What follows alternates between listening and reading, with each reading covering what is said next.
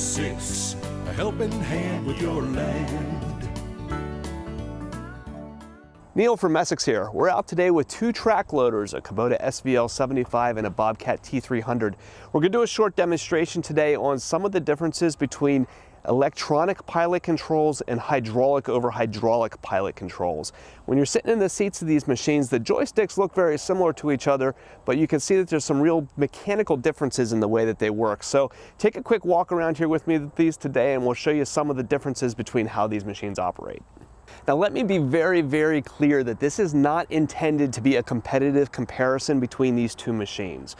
When you're in our situation and you have the opportunity to go to uh, manufacturer training events and that kind of stuff where we can have half a dozen competitive machines lined up side by side and you can jump from the seat of one machine to the other, you'll start to notice some differences between how machines operate. Okay, so we're gonna go through and we're gonna do a demonstration of how the electronic controls in this Bobcat respond, but be very, very clear. I'm not saying that all electronic controls are this way. There can be some dramatic differences between manufacturers and the way that their sensitivities are done or their controls might be built. They're gonna cause them to behave very differently than what this machine does. So I'm not trying to go through and badmouth Bobcat. That's not the point. What we're trying to show is a reason why you should take the time to sit in the seat of a machine that you might be considering and actually operate it because there can be some very clear differences in the way that they work. So the demonstration that we're going to try to do here today is a difference between a hydraulic over hydraulic pilot control like Kubota uses and an electronic over hydraulic control like Bobcat and many other competitive machines use. What the difference that you'll notice is, is in a mechanically controlled machine, you don't have that computer sitting between the stick and the machine. And so oftentimes you'll feel the hydraulic over hydraulic being a little bit more predictable, um, particularly when you come to doing fast motion. So the real demonstration that we're gonna do here is when we take this stick and we make quick movements with the stick, typically done to say, shake dirt out of a bucket, right? If you got your bucket packed full of mud and you need to get the mud to fall out, you're typically gonna jostle your bucket really hard in order to shake the dirt out. And when you do this with this electronic stick, you'll find that whatever it's doing in its computer is kind of going to average out and take out that shaky motion, making it more difficult to get a shudder out of the bucket to knock the dirt loose. So I'm going to start the machine here, run into our test pile of dirt, and kind of talk you through some of the things that I'm doing and sensing the way that the machine's responding. I'm going to take this guy over here, start her up, and come around here into our pile of dirt.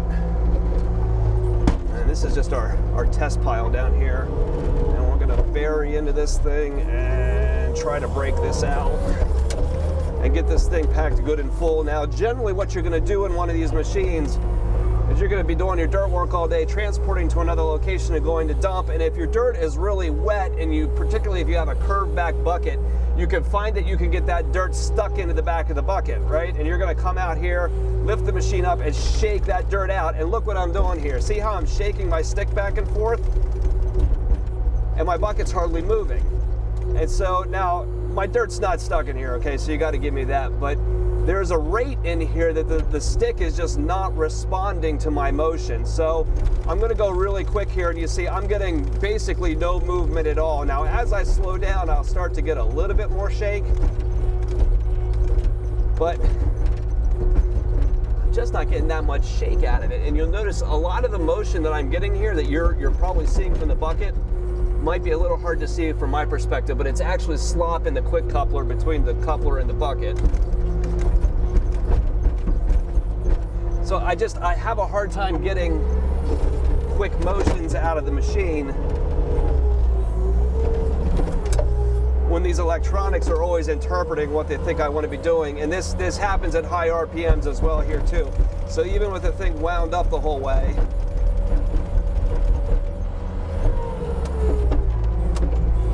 I just, I have a hard time making that aggressive shaking motion.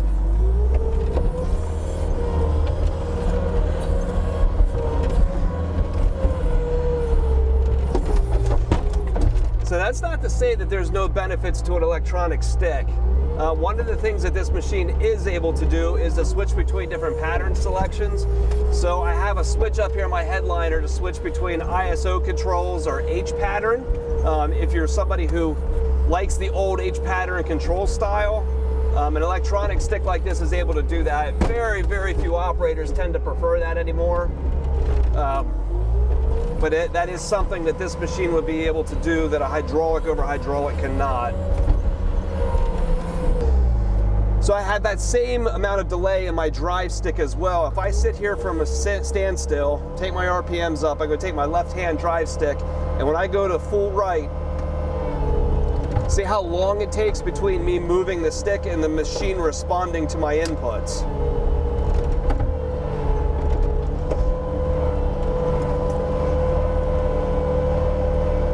This one is not too bad in terms of dead area. Uh, when I've been on some other machines in the past, you can find that you have to move the stick a pretty fair distance before it starts to respond.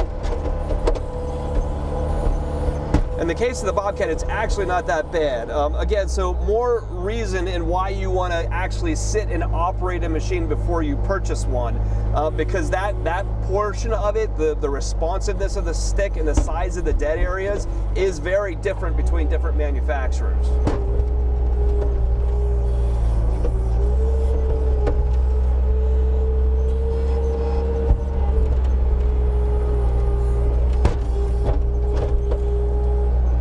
Lag time is awfully odd. So here we go. Full throttle, throw it to the side. I mean, it's, it's a solid second and a half before I get any motion out of the machine at all. And that also happens when I'm moving. So if I'm going left and I want to go right, I, I end up over rotating before the machine responds. Now this one, you will notice that some of the newer machines that are coming out now have adjustments for how responsive they those controls are. Um, in this case, this one does not have any of those machines, uh, those options on it. So I don't have a way in here to say dial up or down these and make adjustments to these sticks, which is something that you're starting to see coming out now. So we're to do the same kind of demonstration now on the Kubota. The Kubota also uses the same ISO pilot control layout that the Bobcat does, but mechanically these sticks are different. Um, rather than being electronic sensors in the sticks, there's actually wet hydraulic lines that go down from them down to the valve stack. This would be much the same way that excavator controls are done. So when Kubota designed this machine, obviously they took all their experience from the excavator space and used that in the control pattern on the track loaders.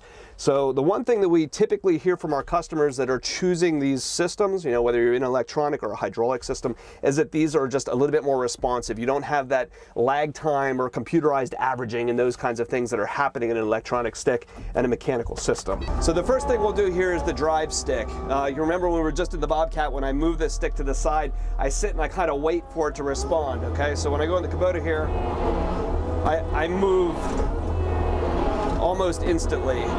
And when I come to the side and I go back the other direction, I move much more quickly and I'm not overshooting as much as I was in the Bobcat. So uh, just a little bit of a difference in the way these controls work.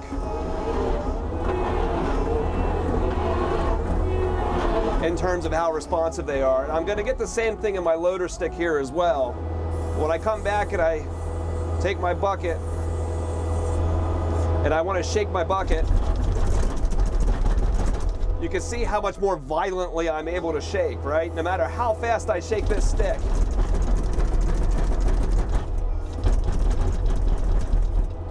No matter, probably shook the living daylights out of my GoPro there. No matter how fast I do that, I get a really hard shake out of the bucket. So if I'm trying to get that stuck debris out, I can shake much more uh, forcefully than I can with the other machine.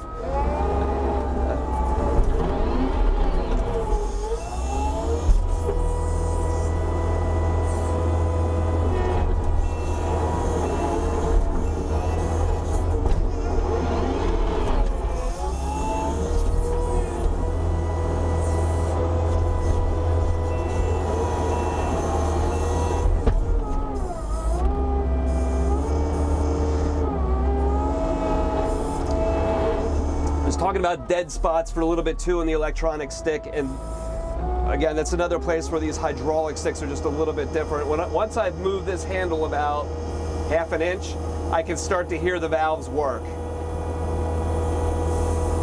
And so I get that much more predictable, smooth motion out of these than what I, I typically would get in the electronic Bobcat. And again, I, am not trying to make this a competitive comparison to a Bobcat machine necessarily. you know, every generation that comes out, they change how these things work, and different machines receive software updates at different times. Really, what we're just trying to demonstrate here is that there's value in you taking the time to go out and operate a machine if you're considering one. You know, you might hop on one of these and be a, H pattern guy and not be able to run a Kubota, or you might go and you'll find that um, there's an application where you really appreciate the electronic stick or the adjustability of one, or uh, we are starting to see some applications now where implements are giving electronic feedback to the machine and it can vary its speed based on that implement. They're kind of niche cases, but there's value in coming out to one of our dealerships and sitting on different machines and seeing how they work.